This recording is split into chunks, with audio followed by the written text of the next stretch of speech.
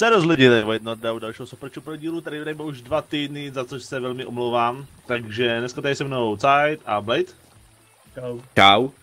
Blade zase dělá posranou na sranou kameru, protože mi to zase laguje, i když mi to celkem něco utáhne, tak mi to neutáhne dostatek dost, aby to vypadalo dobře. Takže to zase v píči. No, Uh, po těch dvou týdnech se změnilo pár věcí, opustili jsme tam ten server, na který jsme hráli, na který jsme nestihli natočit vůbec nic, což vůbec nevadí, protože by to byl stejně nějaký shit, který by vydržel týden, ani ne, možná tak čtyři dny. A teď jsme na mém serveru, uh, jmenuje se to Velká Morava, uh, je tam vlastně, najdete to na CZSK, Velká Morava, bla bla bla, pařbička, eventy a bla bla, nějaký pičoviny tam jsou. Um, No, k tomu, k tomu, k tomu. Server jsem si založil, protože už mě sralo v podstatě, jak tady všechno trvalo, je ty dohody s adminama, lepší je to mít, si udělat, vlastně lepší je to udělat si sám, než potom se nasrat, nasrat kvůli tomu, že to někdo zrušil, nebo se mu něco nelíbilo a tady tyhle ty, které už nechci řešit s adminama, tak proto zakládám teda vlastní. Uh, o víkendu by se měl otevřít pro všechny z vás, kdo by se chtěli přišmelit, budeme tady mít zajímavý systém, zajímavé eventy a aktivitu a snad i dostatek hráčů na to, abyste se prostě pobavili i, i mezi sebou, nejenom uh, sami, jak jsem byl zvyklý na ostatní serverech, kdy si tam prostě každý hrál na svým písečku, ale nic jiného nezajímalo. Takže my se budeme snažit nějakým způsobem sjednotit, uh, nějak rozkomunikovat tu komunitu, kterou tady se snažíme vybudovat. A předem upozorňuji, je to takový menší pokus uh, menší pokus vlády až vyjde, že kdyby nás teďka jakoby českou komunitu pustili na MMOčko, tak tam nepřežijeme ani hodinu po tom, co by se vlastně server MMO otevřel, protože bychom byli úplně rozpadlí, byla by tam špatná komunikace, špatný sjednocení, i když bychom se o něco pokusili, tak prostě nemáme uh, zaběhlou nějakou tu zkušenost, protože tady, kde si to máme vlastně natrénovat, ten přístup na MMO, tak se tady jenom sereme, budáme si dozad, vole, a nejsme nic schopní v podstatě jakoby založit z naší strany, jakoby české komunity, když ostatním zemím to v celku nedělá problém. No, takže tím problémem se budu hlavně zaobírat, určitě uh, mám tady v plánu to mít nastavený tím způsobem, že mám to naplánovaný tím, že, že no, bude tedy hodně omezení, tak abyste se nemuseli bát příchozího člověka třeba na vaše území, ale zase to bude velmi rozsáhlé v jiných možnostech. Prostě uvidíte na stránkách, až je budeme o víkendu dělat a sepisovat pravidla a tyhle ostatní hovna. Teďka jenom seznámení, asi nejrychlejší, tak se nám to tady bude dělit na tři struktury, což je král, šlechtic a vesničan. Když sem přijde partička, tak se dělí automaticky na vesničana, zakládají vesničku, kterou odejde nevím, barák, sklad, sklad, dva sklad, dva sklady třeba, nevím, plácu, dva sklady, baráček, kde můžou být ostatní a envilku a ty blbosti, ty základní věci, aby mohli bez problémů budovat, dostanou území, která, je, která bude vstyčená na mapě a musí se vrtat tou hlavou, vole. Je škoda, že nemůžu mlátit rukou, bych tě, tě flakl po hlavě, vole. Uh, Muž se železnou maskou. No, seš... seš, vole, mečem po palici, vole. A já tě mátit nebudu. No, tak dej, vesničan. Uh, aby vesnice nějakým způsobem mohla se mnou komunikovat nebo s jakýmkoliv adminem, tak si musí zvolit starostu. Budeme mít tady takový ten uh, titulový nahodit. Takže... Ne, už zase děláš uchylárny. Takže vesnice si zvolí starostu, který se mnou může komunikovat jenom ten starosta třeba, jako příkladu teďka plásnu, že se mnou může komunikovat jenom starosta, protože ostatní lůza se mnou prostě nemůže, nemá jakoby tu, tu, uh, tu hodnost, ten titul, aby se mnou mohla jakoby s králem mluvit. Autoritu potom, uh, potom to bude tím způsobem, že když chcete rozšířit na kamenné vesnice, anebo na spevnostní vesnice, nebo rozvíjet se o další políčka území, které jsou dostatek ma- malé na to, aby vás nutili si ty pozemky vlastně koupit, anebo se rozšiřovat, tak v tomhle momentu uh, se musíte zvolit, teda si zvolíte jednoho ze svých zástupců, kdo bude, kdo se stane jakoby šlechticem, patronem vlastně té vaší vesnice, a bude mít na starost jakékoliv vaše uh, rozšiřování a spol, který se mnou zase může zase jednat jenom šlechtic, anebo starosta, jestli to uděláte ze starosty, tak máte smlouvu, protože jste přišli o starostu, máte tam jenom šlechtice. No a ze šlechticem se bude všechno tohle probírat, třeba tam budou, mám v plánu možná ještě nějak domluvit třeba diplomaty, že jenom diplomat může vyhlásit jakoby válku jinému, jinému šlechticovi a tady tyhle dety. No a pak je tam samozřejmě král, král jsem já a budu mít pod sebou nějaký trubce a mluvčí ostatní adminy, který mi v tomhle budou vypomáhat. Nevím, kolik jich bude, zatím tady mám jenom Saita, Blade bude Event Master, se k tomu dobrovolně přihlásil, což uvidíme, co všechno vymyslíme. Budeme se snažit vás zaujmout jakoby aktivitou i eventu různého typu a zvláštností, na který prostě nejste zvyklí. A bude něco chceš tím eventu říct? No, budeme hlavně čekat no. na, na peče s koněm a to bude velká zábava potom. No s těma koněma to bude asi nejlepší, já se na ty koně strašně těším, ještě nevím, kde teda budou, ale ty vole, závody na koních, vole, taky ty rytířský turnaje proti sobě s těma tyčema, které už tam jsou. Já jsem se díval, už tam taky, ty, taky ty jezdecký, jezdecký závodní tyče tam jsou. Takže úplně super, na to se fakt těšíme, Devce. ale i teďka se, i teďka se toho dost, uh, dost dá vymyslet, aby to prostě nějakým způsobem fungovalo. No, ještě k tomu šlechticovi, vy dostáváte ode mě jakoby od krále peníze za to, že spravujete moje území, dostává to město, jakoby jenom starosta, uh, dostává příděl za jeden pozemek, šlechtic dostává příjmy za pozemky, které vlastní a za ty pozemky si můžete, za, ta, za ty peníze, si můžete nakoupit uh, urozené nebo tradiční obleky. Ty pičo, zrovna zmizí, když začnu o tom mluvit. No. Můžete koupit tradiční nebo urozené obleky, vrať se, dalej. Čura, neho. Což znamená, že člověk, co má tradiční oblek, což je to, co tady ten vocas měl na sobě vedle mě, takový ten obyčejný... Už běžím. takový ten, no tam je, vole. Co to máš na zádech, pane bože? Uh, vypadá jak čert takhle z dálky s těma rohama. No, takový ten, takový ten tradiční, co je kovář a co je tady tyhle ostatní, jakoby farmář a tyhle pičoviny tak to vás automaticky, je to dá, za, daný jakoby zákonem, že vás to ochrání na pozemku, který vlastníte, jo, ty tradiční vás ochrání, nemůžou na vás zautočit. A potom máte ušle, uh, urozené obleky, což mám na sobě já, to je ten architekta. Potom se do toho ještě řadí mnížský oblek a padet dvojka, padet trojka. Se do toho řadí do těch urozených, protože vypadají fakt jako pěkně. A kdokoliv tohle nosí, tak se může pohybovat po všech městech uh, s otevřenými bránama, protože je urozený a nikdo vlastně v podstatě nemůže napadnout. Musíme da, musel dát sem tím oblekům nějaké využití, protože jsem si všiml, že nikdo nenosí, přitom jsou pěkný. A všude jsou buď naháči nebo ozbrojenci, takže jsem udělal tu středovou linii, dal jsem jim důvod je nosit, což jim zajistí ochranu.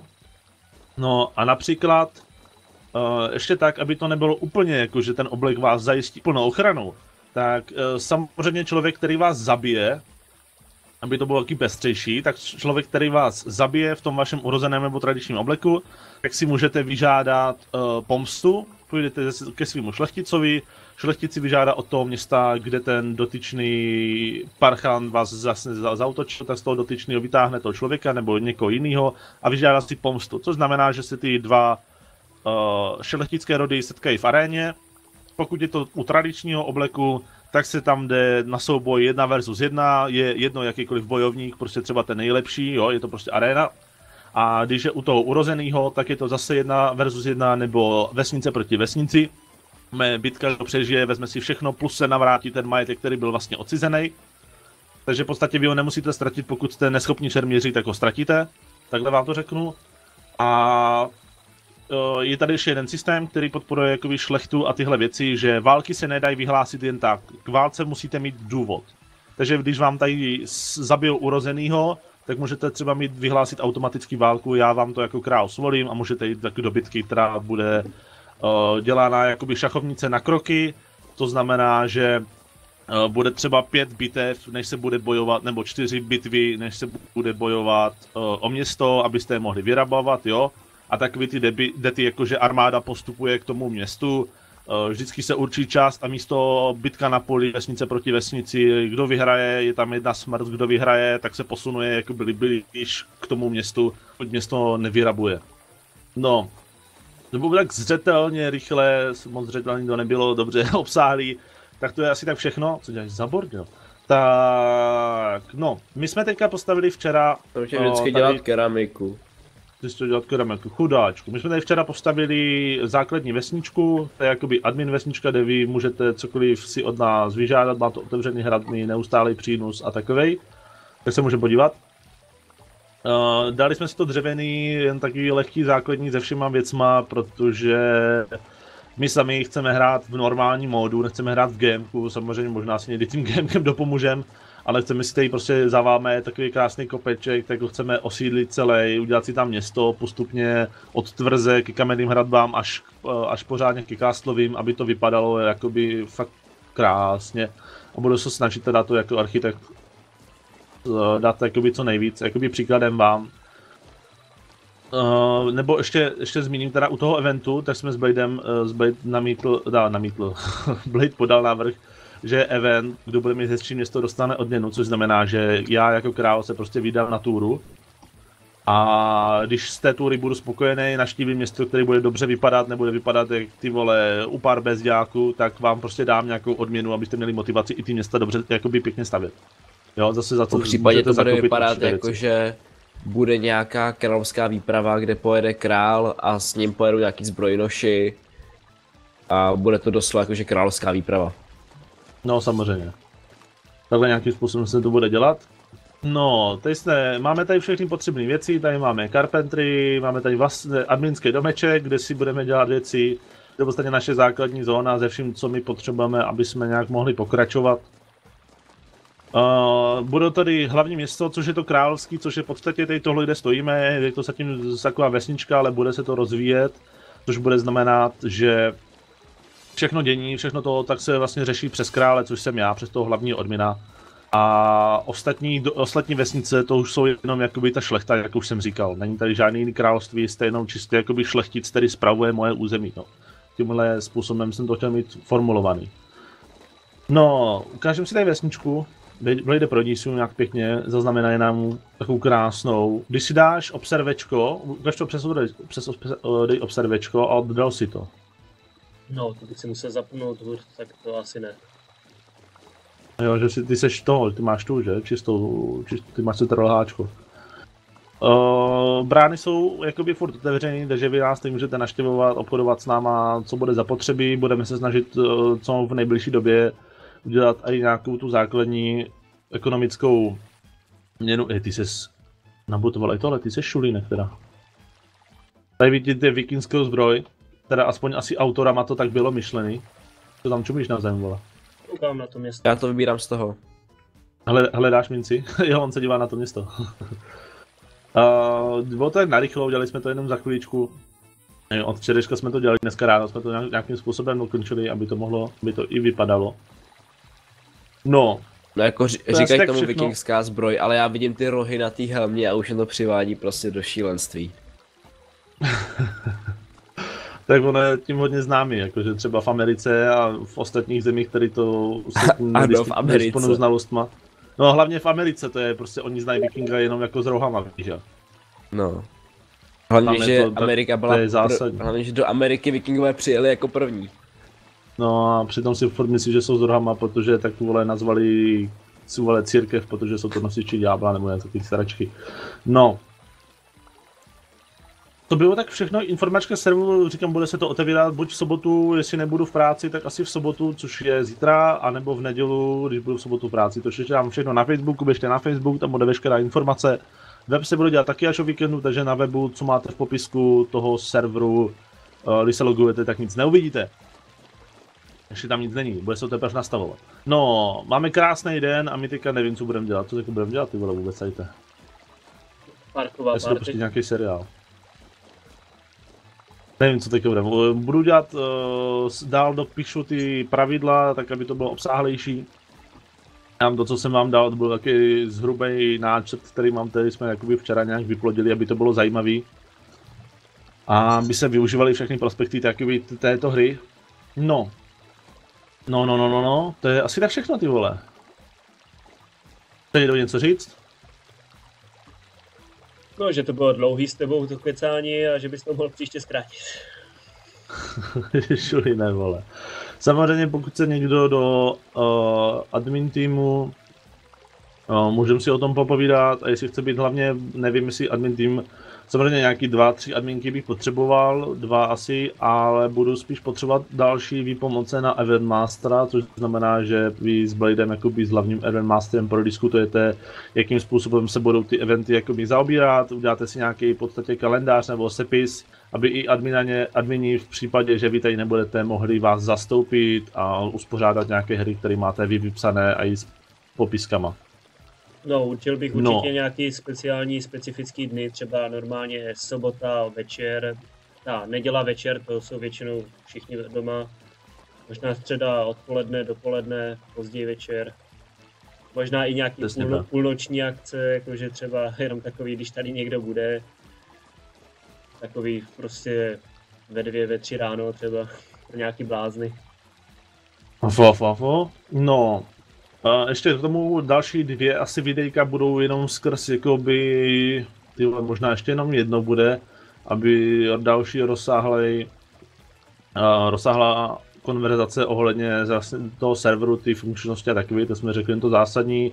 Já doufám, že se vám to líbí, jakoby ta myšlenka toho serveru.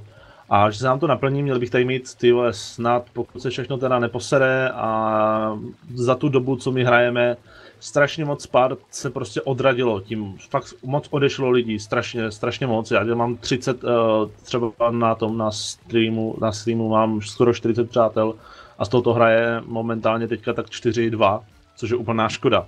Takže já se pokusím je znova naverbovat, určitě naverbuju i vás z největší pravděpodobností, co to půjde. A doufám, že založíme komunitu, která prostě za to bude stát. My jako adminové rozhodně nebudeme supportovat ostatní hráče. Vši, na tom krachli snad všechny servery. Opravdu snad všechny kre, uh, servery na tom krachli, že prostě byli obviněni za to, že supportují hráče. Nám jde o vytvoření komunity. Já už si upozorňuji předem, mě jde fakt jenom o vytvoření stabilní hráčské komunity, aby to mělo nějakou strukturu, aby jsme se zabavili, aby jsme něco dosáhli, protože servery ostatních, tak skolabovali dřív, než se tam v podstatě vybudovala nějaká struktura nebo nějaká aktivita. Nebo nějaký typ budovy. Jo, takže pokusím se to udělat co nejvíc pestřejší, hlavně pro vás, jo, takže bych byl rád, kdybychom se neobvinovali potom skrz to, že někoho supportujeme, i když jsou to naši starí hráči, tak to opravdu tak není. Já se snažím vycházet s každým a určitě nebudu každého supportovat, fakt mi jde o tu strukturu toho, toho serveru, aby prostě měl dobré jméno a nikdo mi to nekazil. Samozřejmě pokud bude někdo obvinovat mě nebo ostatní adminy, že supportujem, tak si ho s ním rád promluvím a všechno si můžeme vyřešit ručně, stručně venku někde, jo. Takže tak asi všechno. No, ukecal jsem to asi dost, ty vole se vždycky rozkecá, nevím, zastavil, jsem jak ženská, vole. Uh, takže samozřejmě pište mi do komentu, třeba skupiny, uh, kontakty, já si vás prostě vezmu na Steam nebo na Skype a domluvíme se, kde chcete mít vesnici, jo, jakým způsobem, uh, kolik vás bude a takhle to dál budeme nějakým způsobem dělit, budete víc obeznámeni s pravidly, které budou, když Blade namítl, dá, namítl, Blade podal návrh, že event, kdo bude mít hezčí město, dostane odměnu, což znamená, že já jako král se prostě vydám na túru a když z té tury budu spokojený, naštívím město, které bude dobře vypadat, nebude vypadat jak ty vole u pár bezďáků, tak vám prostě dám nějakou odměnu, abyste měli motivaci i ty města dobře jakoby pěkně stavět. Jo, zase za co V případě to bude vypadat jako, že bude nějaká královská výprava, kde pojede král a s ním pojedou nějaký zbrojnoši a bude to doslova jakože královská výprava. No samozřejmě. Takhle nějakým způsobem se to bude dělat. No, tady jsme, máme tady všechny potřebné věci, tady máme carpentry, máme tady vlastně adminský domeček, kde si budeme dělat věci, to je vlastně naše základní zóna ze vším, co my potřebujeme, aby jsme nějak mohli pokračovat. Uh, bude tady hlavní město, což je to královský, což je v podstatě tady tohle, kde stojíme, je to zatím taková vesnička, ale bude se to rozvíjet, což bude znamenat, že všechno dění, všechno to tak se vlastně řeší přes krále, což jsem já, přes toho hlavního odmina. A ostatní, ostatní vesnice to už jsou jenom jakoby ta šlechta, jak už jsem říkal. Není tady žádný jiný království, jste jenom čistě jakoby šlechtic, který spravuje moje území. No. Tímhle způsobem jsem to chtěl mít formulovaný. No, ukážeme si tady vesničku. Blade Produce nějak pěkně zaznamenají nám takovou krásnou. Když si dáš observečko, ukaž to přes, přes dej observečko a dodal si to. No, to bych si musel zapnout hůř, tak to asi ne. Jo, že si, ty seš to, ty máš tu, že? Čistou, čist, ty máš CTRL-háčko. Uh, brány jsou jakoby furt otevřený, takže vy nás tady můžete naštěvovat, obchodovat s náma, co bude zapotřebí. Budeme se snažit uh, co v nejbližší době udělat i nějakou tu základní ekonomickou měnu. Je, ty ses nabutoval i tohle, ty jsi šulínek teda. Tady vidíte vikinskou zbroj, teda aspoň asi autorama to tak bylo myšlený. To tam čumíš na zem, vole. Koukám na to město. Já to vybírám z toho. Hle, hledáš minci? jo, on se dívá na to město. uh, bylo to tak narychlo, udělali jsme to jenom za chvíličku. Od včerejška jsme to dělali, dneska ráno jsme to nějakým způsobem dokončili, aby to mohlo, aby to i vypadalo. No. No jako ř- říkají tomu všechno. vikingská zbroj, ale já vidím ty rohy na té helmě a už je to přivádí prostě do šílenství. tak ono je tím hodně známý, jakože třeba v Americe a v ostatních zemích, které to v Americe. znalostma. No hlavně v Americe, to je prostě, oni znají vikinga jenom jako s rohama, víš No.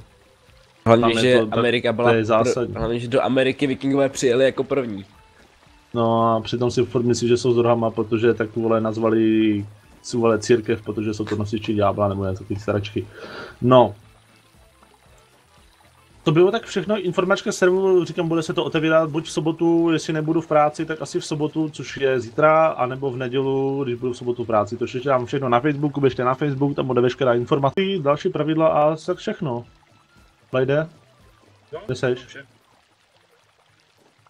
Tak, my jsme spokojení, já jsem spokojený po těch dvou týdnech, že je to kecací, tak se za to omlouvám, tady nemám teďka momentálně co hrát, samozřejmě potom budu se snažit natáčet, i když budu hrát. Je tady s panem Blbečkem. Uh, tím způsobem, že třeba budeme natáčet eventy, uděláme třeba něco jako event mastera, že popíšeme různé eventy v různých dílech a snad přijdeme i na něco zajímavějšího, než je jenom jedna plus jedna arena, takže, nebo jedna versus jedna, ne jedna plus jedna. Kde jsi volá, tě nevidím. Znáším se nad městem. A blejde.